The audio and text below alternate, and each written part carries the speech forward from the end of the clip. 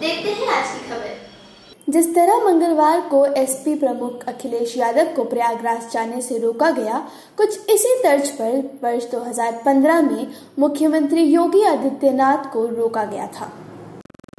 ईवीवी में छात्र संघ के उद्घाटन समारोह में गोरखपुर के तत्कालीन सांसद योगी को बतौर मुख्य अतिथि आमंत्रित किया गया था।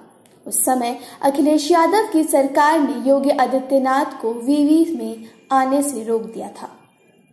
मंगलवार को खुद को रोके जाने से नाराज़ अखिलेश आनंद फानन एसपी कार्यालय पहुँचे और सभी एमएलसी विधायकों की इमरजेंसी बैठक बुलाई। इसमें तय हुआ कि सरकार के इस रुख का पुरजोर विरोध किया जाएगा। इसी के बाद से प्रदेश भर में धरना प्रदर्शन शुरू हो गया है। एसपी मुख्यालय में अखिलेश ने मुख्यमंत्री योगी आदित्यनाथ पर जोरदार हमला बोला। कहा कि मुख्यमंत्री याद रखे कि उनके साथ भी ऐसा हो सकता है। एक मुख्यमंत्री हिंसा को बढ़ावा दे रहे हैं। आपको हमारा वीडियो कैसा लगा, हमें कमेंट करके कमेंट बॉक्स में ज़रूर बताइए। आपको अगर हमारे वीडियो पसंद आया तो इसे लाइक कीजिए और शेयर कीजिए। चैनल को सब्सक्राइब करना ना भूलें धन्यवाद।